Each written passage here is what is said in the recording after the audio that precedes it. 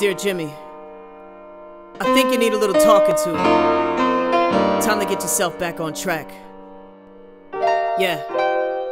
Dear Jimi, time to focus on yourself, on yourself. Quit trying to live for everybody else. Cause 80% of them folks around you are only concerned with themselves, not you. And no, you're not perfect. Sure, you made mistakes. Made mistakes. But even when you failed, you handled it with grace. Which is more than I can say for people who betrayed you. Suddenly, overnight, they used to love you, now they hate you. I'ma tell the truth, I feel I need to. Jimi, you need to stop sharing your light with people. You're giving too much of yourself to try to please people. And they just use you up until they no longer need you. Look at your love life. I know you're disappointed in yourself and your decisions, but you gotta listen. Who you were in the past is a different person from the man you are today. So let them talk away, let them all judge you. A bunch of walking contradictions, they act like they never been in your position. You even had one of your homeboys try to date your ex right behind your back. Can you believe that? Dragging your name through the mud like you're not alive. Not alive. But if it wasn't for you, he wouldn't have a job. Have a job. Whispering to women trying to make you look bad. To try to benefit himself with his jealous ass. Dear Jimi, too many times people cried on your shoulders. And when you helped them out, all they did in return is stab you in the back. That's a fact. And that is not exaggeration, that is fact.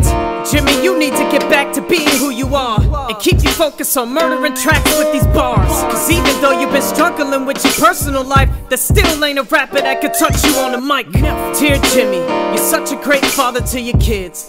Look at all the awesome things you did. I remember years ago you were thinking of suicide. Look at you now, teaching your daughter how to drive. You're such a hard worker at your job, you get a lot of love. You should really thank the guy above for blessing you with the friends that you made along the way. You made some memories that can never go away.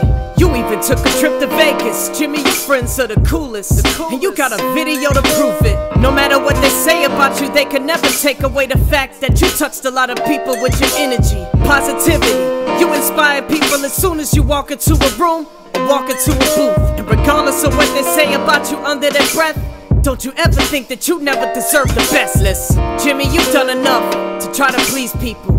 Now it's time for you to make time to please you.